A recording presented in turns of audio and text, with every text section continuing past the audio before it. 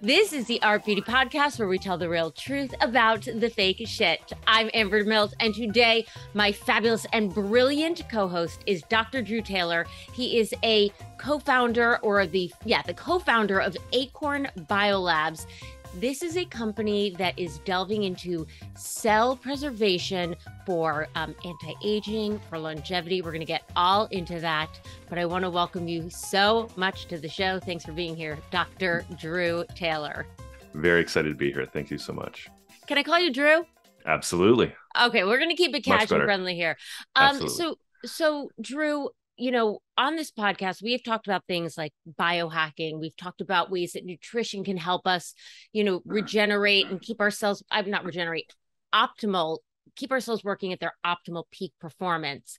Um, but but you're taking this sort of one step further by actually talking about cell preservation cryogenically, correct? Correct. Yeah, I mean, I think the best principle really to kind of think about it is you know we do things constantly as as people that are are enthusiastic about longevity and, and biohacking to try to optimize our bodies and, and enhance performance um, but what if we were able to take some of ourselves and freeze it in time when it right. was like easy to optimally perform and then leverage that as we age I am so excited to get into this because I love the science behind this. I love seeing how technology has changed, um, not only in the beauty space, but in the health and wellness space. Um, so, you know, before we dive into this, you have a very, very impressive background. And I think it'd be nice for people to hear sort of how you came to co found uh, Acorn Biolabs.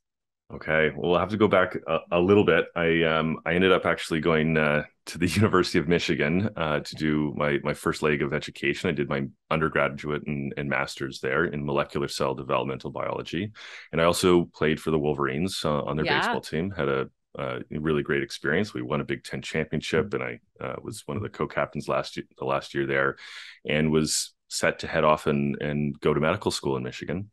Um, and I ended up getting an offer from the Toronto Blue Jays to go play professionally. So it was pretty exciting for me. I come from a bit of a baseball background. My dad played professionally as well, and and so I ended up deciding to to accept it. Uh, I deferred medical school.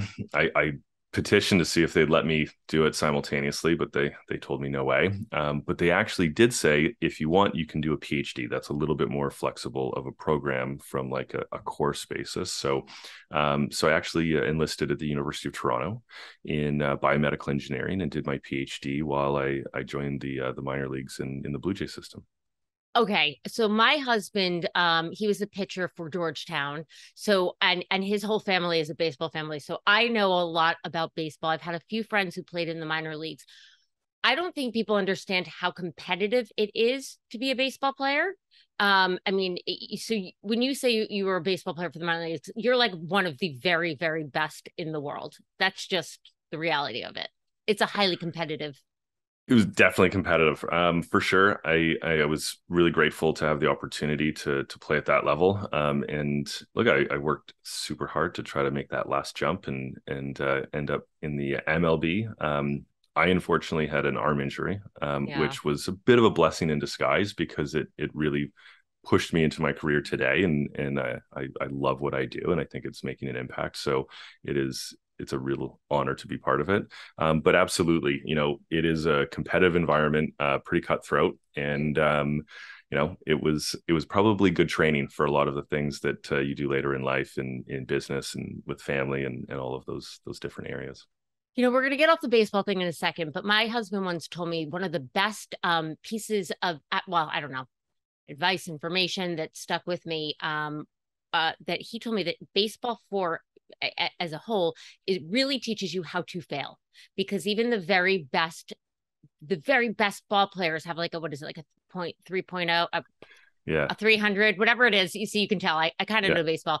But yep. but basically what that means is that every two out of three times you're at bat you're actually missing or even higher than that. Usually, you know, even the best baseball players fail seven out of 10 times. Seven out of 10 times. Okay. Yeah. Right. So it's like a 30% game. So wow, that is really, really impressive. Um, I'm I'm blown away that while you were playing, because um baseball has so many games. It's not like the NFL where you've got, you know, 12 18 16 weeks god i'm not a sports person sorry for everybody who's cringing out there um but but baseball, there's like hundreds of games in a season, correct? Mm-hmm. Yeah. Uh, 162 games in the regular season, um, and then you get into playoffs, and that extends it further. You know, as a comparison, the NBA is probably the next longest, and it's less than half that. So Right. it is it's a very long season with a lot of games.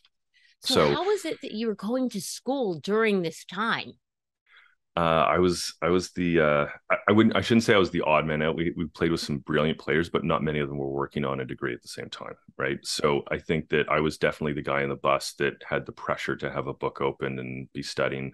Um, there were some some moments that were difficult. I think I kind of just fell into it and didn't really know any different. But uh, I can remember one time we were playing in um, in the Chicago area, and I ended up um, flying home um, immediately after our game and uh, and being in Toronto to write an exam at uh, 9 a.m. in the morning. Then went straight to the airport, got on a flight, and actually started the game that night uh, at seven o'clock in uh, in uh, Chicago. So it was it was definitely a bit of a you know a jaunt sometimes to try to get it all to to line up and and work well, but um, seems to have Seems to have Okay. literally paid off, and we're going to get there in a second. So, um, after after you graduated from the University of Toronto, you did some work with Mount Sinai, correct? Yeah, so most of my work um, while I was at University of Toronto and in my PhD program was at uh, Mount Sinai Hospital, and I ended up working with that group afterwards as well. And it was uh, a really fantastic experience, and it, it introduced me. And I'm always grateful for baseball, literally just for making me push towards that PhD because uh, developing some of these next generation therapies is is just an unbelievable honor. Um, when I joined that group, my role was actually to look at some animal studies that had gone very well and translate those into human models. So jump from the animal cells to human cells. And so I got my clinical fix. I was going into the OR and I was taking biopsies of patients' cells when they were coming in for arthroplastic surgery. So fake knees, fake hips Okay. and um, obviously all of these people have cartilage damage um, you know and that was my specialty is trying to recreate them cartilage so that they would be able to instead of having metals and plastics put into their bodies that you know will break down over time and and not be a, a lifelong solution can we give them something that will last the rest of their lifetimes has the ability to heal have the same response to shear forces and stresses as the rest of our body which is a massive you know indication of longevity of any treatment that we can do for your cartilage so um, it was me coming back with these cells from the OR and seeing if we could replicate the animal studies and regrow cartilage on demand for people. Uh, and it didn't go perfectly. Um, to save everybody a lot of really boring reading, um, it boiled down to age, right? And all of the animal studies that we had run previously, the age of the animals were teenagers, basically, adolescent animals. And now I'm going in at the time of need of these patients, usually elderly, already have damage to their cartilage, sometimes compounded with osteoarthritis and disease. And then I'm I'm asking those cells to perform at their best again in culture. And it didn't work very well. When we did have access to younger human samples, um, the younger the better, right? But you saw an increase as the age went down across that study. And conversely, in animals, we went back to that and actually got access to some older animal cells. And the exact opposite happened with them. Those, those cells did not perform. So age was literally the massive limiting factor on our ability as we move forward with this project to be able to deliver patient care. And that's Okay. happening everywhere. Like, you know, all of the other amazing groups around the world developing, you know, heart therapies and and the ability to to regrow uh, organs one day, right? All of these things uh, are going to be dependent on the quality of the cells that we have. So, I mean, I don't want to sort of, you know, digress too much, but I, I, I remember for a while I was hearing about people who were taking um, umbilical cord cells to pre- to preserve from, you know, when you were having your child, mhm. um, that you could, pre- was it umbilical cord Yep, cells? yep. Yeah. Um, to preserve, uh, you know, it, it, it almost sounds a little bit like the stuff of science fiction. You know, we go back to like Disney freezing his head and and that whole concept. Um, but but can you tell us, you know, we, we've come so far in science, and I think that we're all pretty much open to like the possibility that hey, anything is possible now. What are some of the things that cell preservation can do when it comes to anti-aging and when it comes to you know beauty specifically? Mhm, absolutely. So first, I would say I just want to make sure that because uh, we don't always get the ability to access some of the information that's going on in, in some of these universities and, and groups around the world, but it it definitively is not science fiction anymore. Um, we are doing some unbelievable things. Like a group in Tel Aviv has re- 3D printed a miniature human heart that has the ability to beat, can hold blood, and, and has vascularization. It's about the size of a rabbit's heart, but it's completely built with human cells. Wow. And there's no question in our lifetimes, we're going to see the first 3D lab grown heart implanted into a patient to save their life. Um, we have uh, 12 patients in North Carolina walking around with 3D pl- printed bladders. So you start in areas where you're not, you know, saving a, a life necessarily, but you're uh, giving a patient back their ability to control urination, which is a massive quality of life increase, and it's a fairly simple organ. So ultimately, those were were some of the first targets, and and that's been successful a dozen times in a trial. So we are at the the precipice of seeing this absolutely explode, and I think that in this kind of recent years, we've learned a lot about what's important for us to be able to deliver value to patients and actually have success in those areas. And one of the big things that was going up in Toronto, in, in my neck of the woods, is treating burn victims with their own skin cells. Mm-hmm. And um, you know, it was designed specifically, literally, to to focus on younger people that had felt these things because we knew that obviously those cells are going to perform very well in culture, but nobody under the age of forty was included in that study right, right by design. Um, and so i think that we need to think about look you know all of these things are becoming accessible. What we're at risk of is that you know millions of people that are around right now are going to miss access to it right. because unfortunately at their time of need their cells will have advanced uh, in age and are not going to be a viable resource for us to use.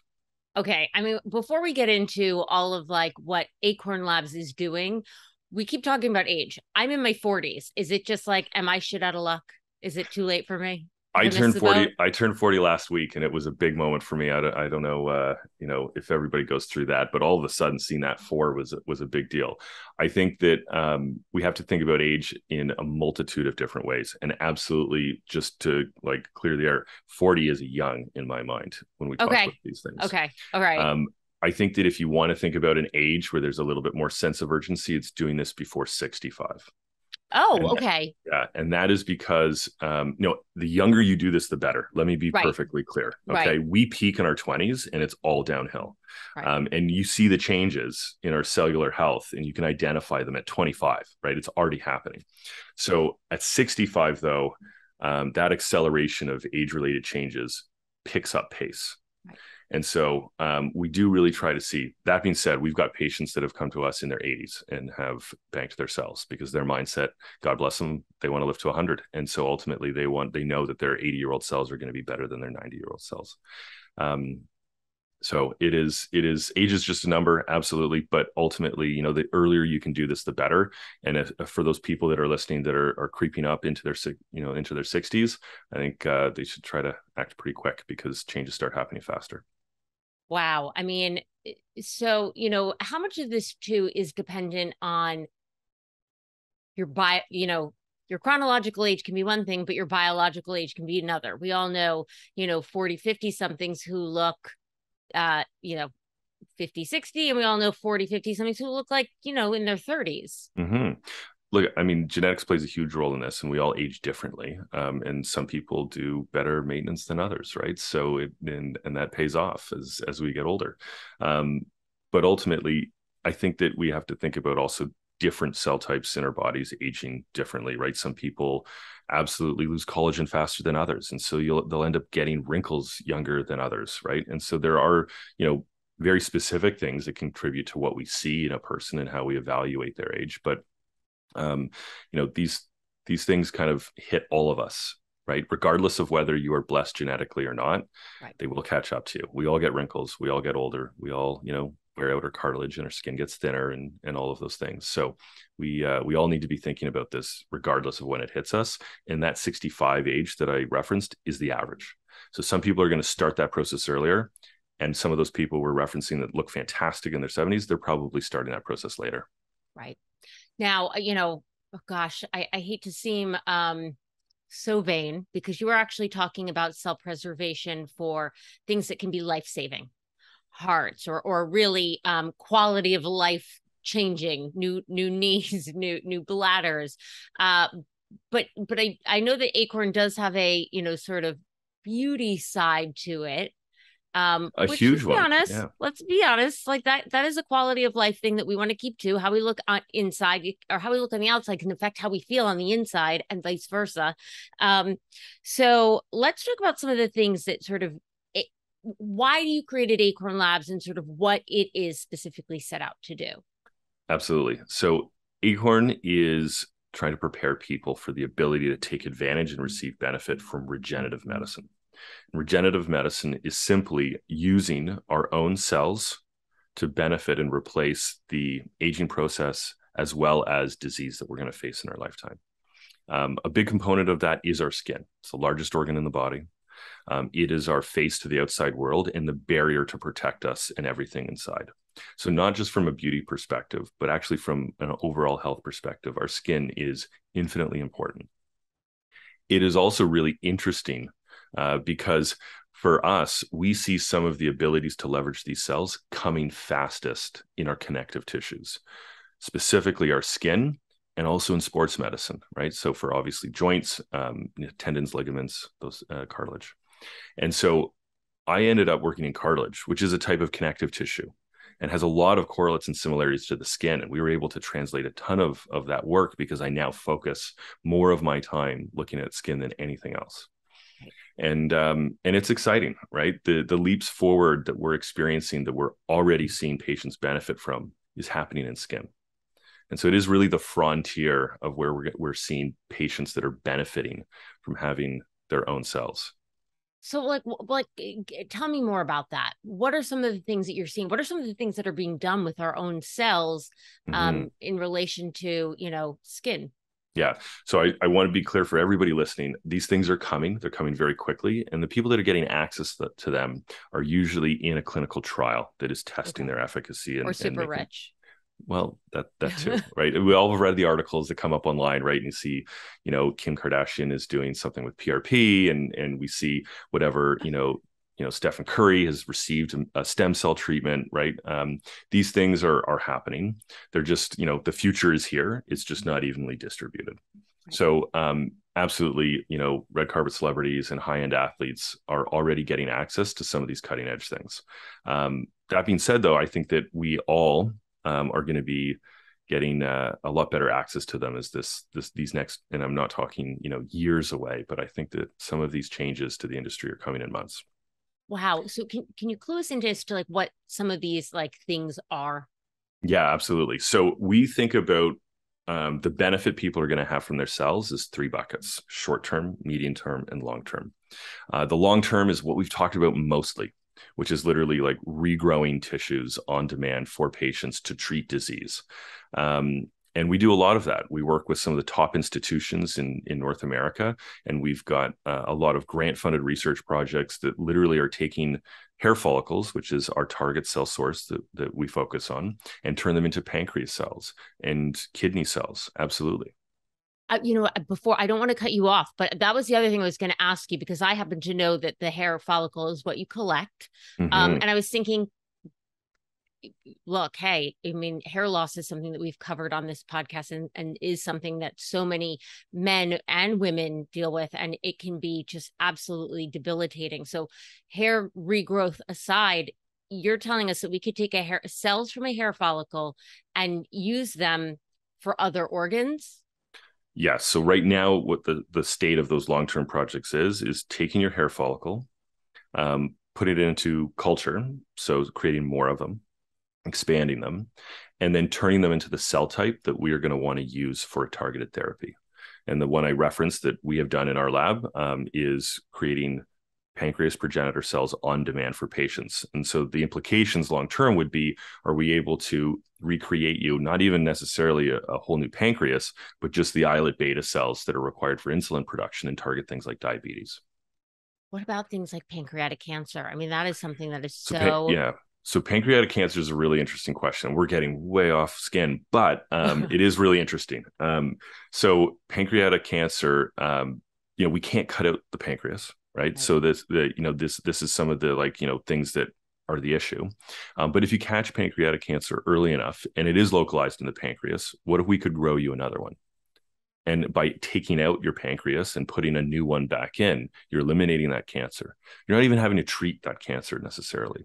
You're just getting rid of it and replacing the part that, that got exposed sorry, my grandmother passed from pancreatic cancer. So I, it, it, kind of hit me, but wow, this is really, really incredible. And like you said, you know, maybe things that aren't available today, but that you are as an expert seeing in the near future. Absolutely. Yeah um so so going back to skin sorry for everybody who, who's listening to me if i if i got too off track um what are some of the things that we're seeing in terms of skin in addition to like you mentioned before regrowing burn patients yeah so so that would be like treating a disease or a trauma um but uh, a lot of the work is actually done in the aesthetic world okay. right and so um we are looking at the components you know, in our skin that degrade over time.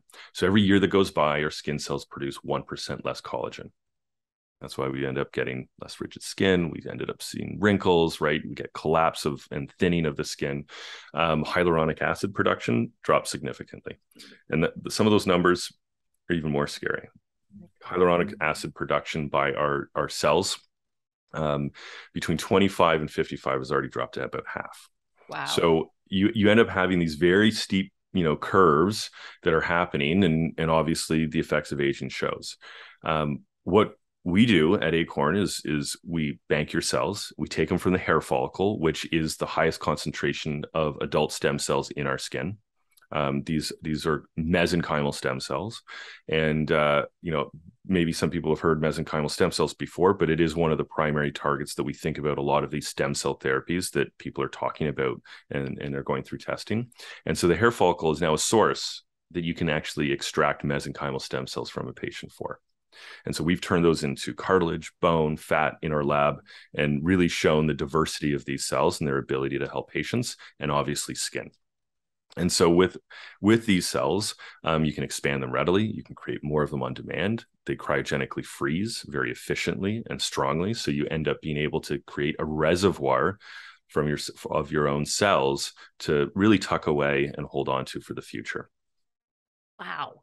Um, and will people be, you know, like we said, so what are some of the aesthetic um yeah. what are some of the aesthetic procedures that you feel like are going to be happening one day? So not even one day, but I think um, it's going to be happening, if not tomorrow, the next day, kind of idea. Like this is this is already um, well beyond the stages of development. Um, most people have probably heard of PRP. So PRP is called platelet-rich plasma, and it's essentially taking a a draw of blood, spinning it down in a centrifuge, and separating out the red blood cells from the plasma. The plasma is what we are after. We throw away the red blood cells, and this plasma now is concentrated and rich in platelets, but also growth factors, right? The things that are going to stimulate our cells to do all the things that they're not getting as good at doing.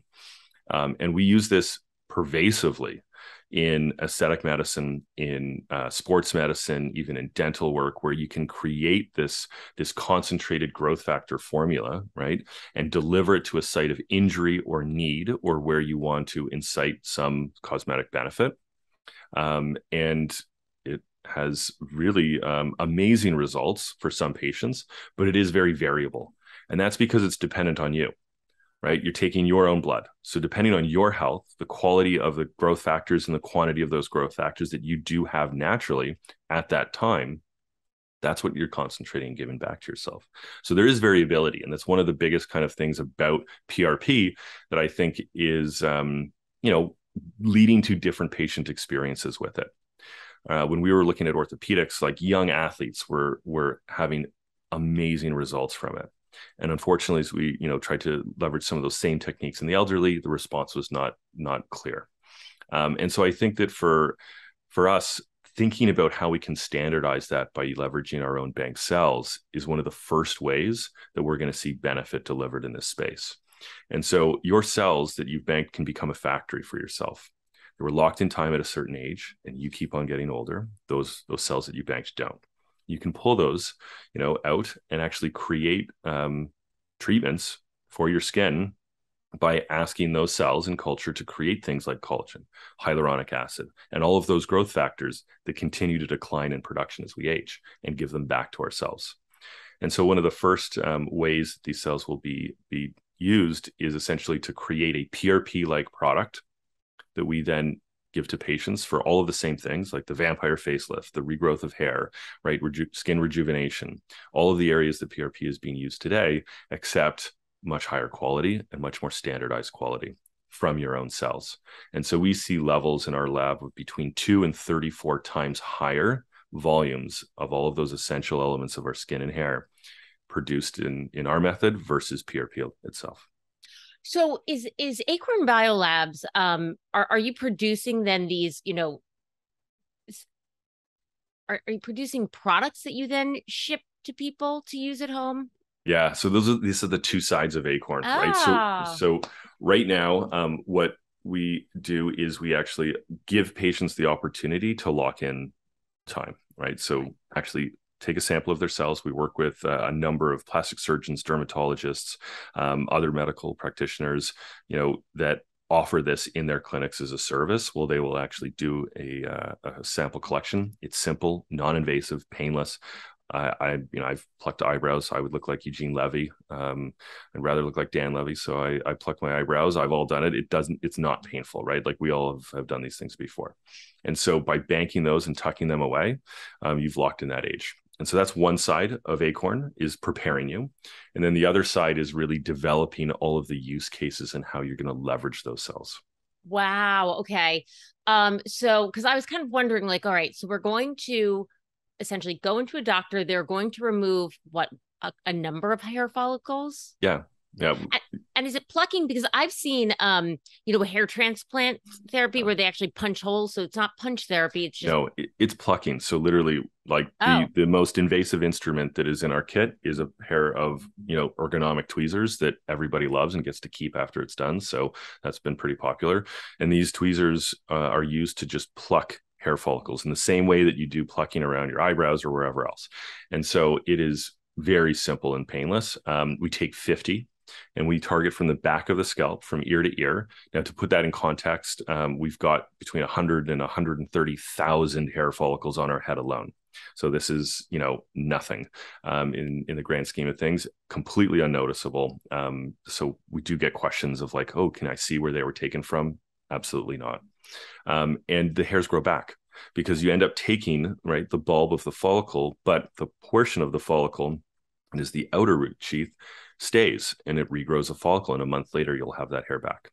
So it is there's no no loss. Um on top of that um you know this is something that is very um people that are losing their hair are hyper aware of right? Because they're used to talking about when you do take that plug an fue right? And you take that follicular unit um, it's gone right? You're taking the entire thing and it is invasive. It does hurt. I've literally tested it on myself to go through that experience to see what it was like. Um, and you know we can take those cells but plucking is what we focus on because it is so much less invasive. So at the time of of somebody going in for a hair transplant they can opt to have cells banked at that moment. And of course you know they're taking the fues and and that's perfect um, but for most patients especially think people worried about you know skin or or you know sports injuries down the road and they're banking their cells for those reasons um, plucking is is what what we do. So what happens if you don't have hair or if you have alopecia or or yeah so we have tons of of patients and, and people and clients that have seen us that that are struggling with hair loss. Most people don't have no hair right? So there there is a condition where literally every hair will drop out of your body. And um, you know there are options to do like plugs if somebody wants to do it. A little bit more invasive but that would be the option. Um, you have to have hair to grab in order to actually extract the follicle non-invasively Okay. um, so that being said, most people aren't completely bald. Um, and so there is usually lots of hair, and we target that area because it is the last place that people ever go bald. Um, and there usually is lots of, of follicle stock in, in the back of the scalp there. Very interesting. You're correct. It normally starts in the top middle. Um. So okay. So at what what? So this procedure sounds pr- relatively easy. Let's get down to the brass tacks, and we know that you know costs vary. uh, uh, You know country to country. I know you're in Canada, um, state to state here in the United States, they can vary. But but what are ballparks fees for this sort of a thing? Yeah, so you're going to pay, you know, uh, a collection fee to the clinic that you visit, um, and that's going to basically include everything from uh, the time to sit down and have the collection, which is very quick, right? You can be in and out in 15 minutes, right? Um, and then uh, shipping of the sample to our core labs, processing of that sample, you know, in, in an ISO laboratory clean room environment, um, cryogenically storing those cells and creating a, a, report back to let you know that everything was done correctly. We actually take um, uh, evaluation of those cells and look at membrane integrity and viability, and we report all of those back to you. So um, that collection fee will cover that that first part, um, and you do that with your clinic. It's under a thousand dollars, um, you know, across the board. You know, prices will vary clinic to clinic, but um, you know, it is definitely uh, um, pretty accessible. And then uh, you end up um, signing up with Acorn and having an account with Acorn to keep those cells cryogenically preserved.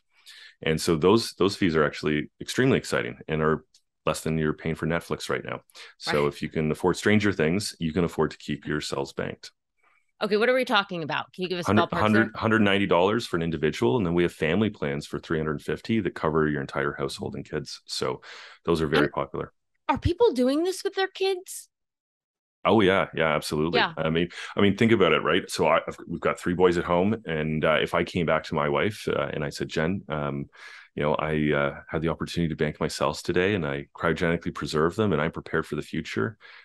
But I didn't make that decision for my wife and kids as well. I'd yeah. be on the couch. so, yeah. um, a lot of people like you know they hear about Acorn, they talk about it as a family, and and we see a lot of people come in together as a group. I have a lot of stuff to discuss with my husband tonight. I'm telling you. You know, listen, I I'm going to ask this just because I try to be the voice of the people. Um, all of this sounds so incredible. Um, what one, you know, you mentioned you'd give a report. Like, how do we know that it's like really working? How do we know that our cells aren't just kind of being shipped off or that we're not getting somebody else's cells or maybe yeah. i'm dumbing this down too much no no for sure and and we're a very transparent company right yeah. um this is a company that was built by scientists right so our level of rigor from our laboratory all the way down to how we deal with clients and report back to clients is done with the utmost diligence um, we we take you know digital security um, as seriously as physical security of these cells. Like we are are top to bottom built to serve patients. We want to be essentially a bank and and then a therapeutic provider in the in the future for you. And so those are two areas where you really need to make sure that the way you do things is is bar none. Um, so we run a clean room facility that you know essentially is cleaner than an operating room. Um, so those cells are processed in an environment that is is appropriate for our own cells and to make sure that they're they're kept with care and there's no you know external impact or or infections or anything.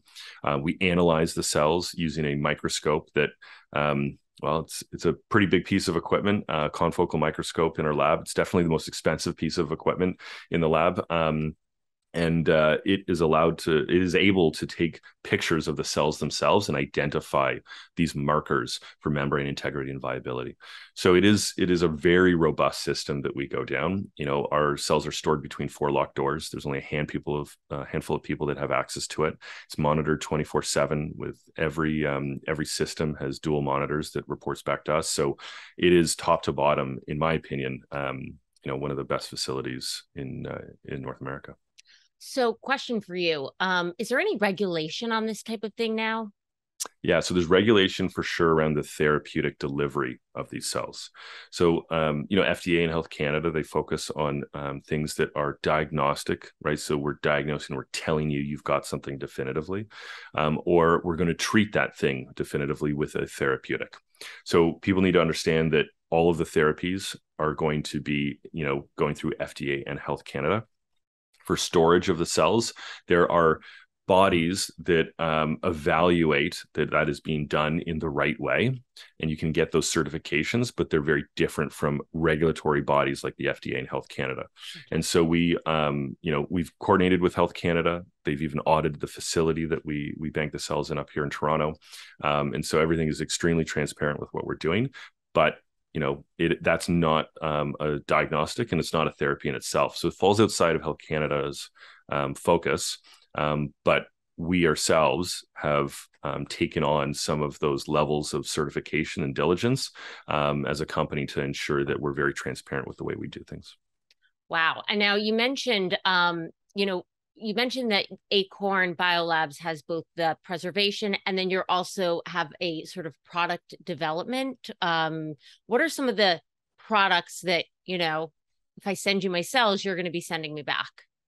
So um, I think what is going to be coming in the very near future is what we talked about that PRP opportunity, right? So it's not PRP, but it is a very similar um, product to PRP in the sense that it is going to be used to treat some of the same things, um, and it's it's going to be able to be delivered in the same way, right, as an injectable.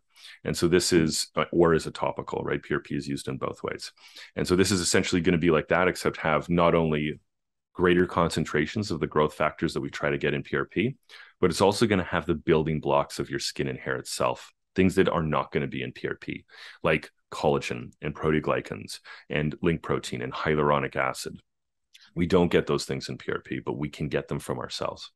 But but you're not going to be um so will it be like a serum essentially because when you do prp yeah. generally you have to have some sort of a puncture it's after a microneedling exactly yeah. yeah. so you can you can do it topically after something that is going to open up pores in the skin like microneedling or you can inject it um you know people inject in the scalp for hair loss all the time Right, but but what are you going to be sending to people? Not oh, it's going to it's, it's, it's going to be um, either a lyophilized or a freeze dried thing that you can suspend in serum, or the serum itself. So you you you, you oh, know, so that we would take to our doctor it would go straight to your doctor.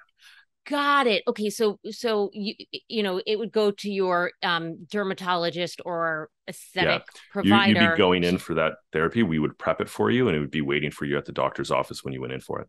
Wow. Okay. Mm-hmm. I wonder. And the doctor, so you know, the doctors probably like doing it themselves. That's a whole other thing. We're bringing in a better sort of a quality, but it's not like you're sending an at-home serum.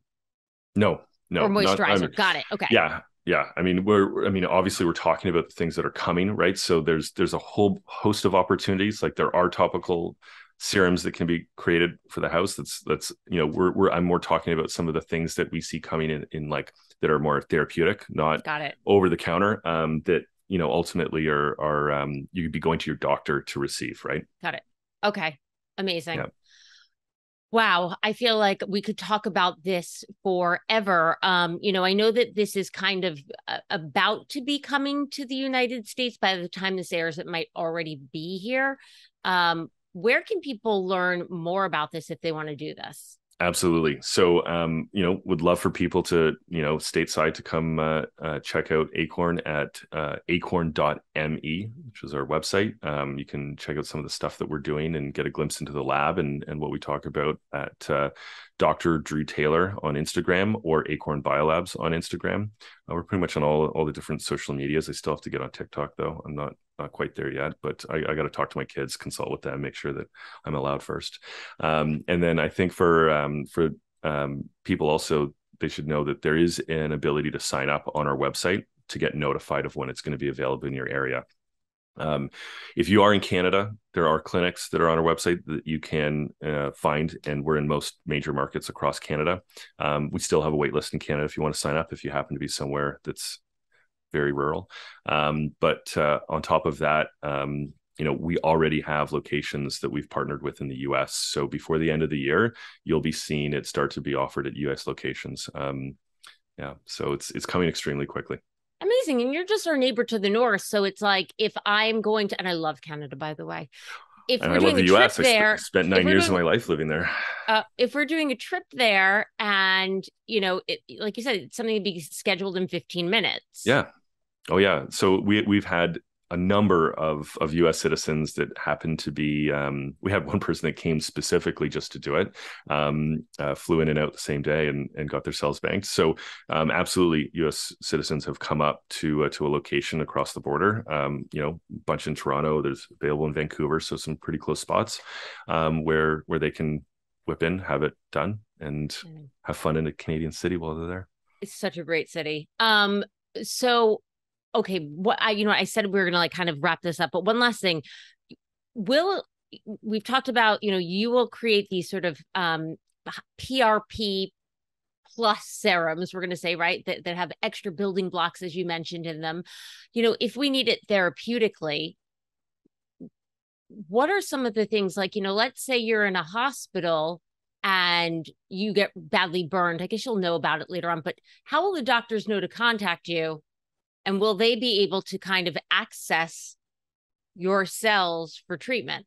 Yeah, absolutely. So I think as we get to the ability for all of those things, we want to build systems very much like, you know, donor networks, except you're getting access to your own cells um, so that essentially when those things do happen, all of the things get triggered to let us intercept and say to the physician the patient does have their bank cells. They'll be able to see that on you know either their health record or from that patient's uh, telling them themselves and link all of those things together so that the doctor has you know all of the resources and knows that this patient does have a resource tucked away for them if, if they want to go down that path.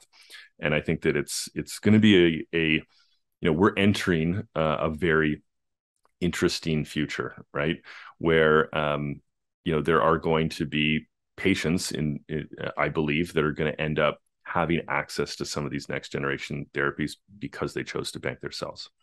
And then others are going to fall outside of candidacy because either an age passes and they're not you know appropriate for a donor and all of these different elements that cause with you know all sorts of complications.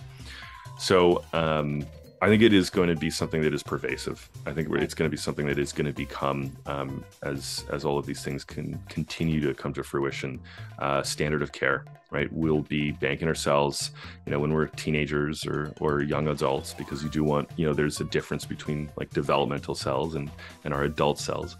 Um, we're going to be doing this routine. Wow, this is so absolutely incredible. Thank you so much for spending time with us today, Dr. Drew Taylor. Um, you know, as you mentioned, uh, if you've got, you can go to his website, acorn.me, for more information. Get on that wait list. I know I'm going to. Um, you can also, if you have questions you want me to pass along, I'm always happy to do so. You can write us at hello at artbeautypodcast.com. You can follow us on Facebook, Twitter, and Instagram. Did I say Twitter? We don't tweet. I'm lying. Facebook, Instagram, and YouTube. I think I need to now bank some of my brain cells. I think they're frying way too fast. Um, but as always, we will see you next Tuesday. Bye now.